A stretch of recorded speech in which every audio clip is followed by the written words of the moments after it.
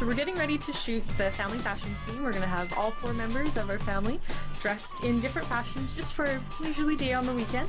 More pinks, more blues. We've got the two colors that are really in season for the fall. We're going to see lots of blue on the shoot today. That's what we'll be shooting coming up.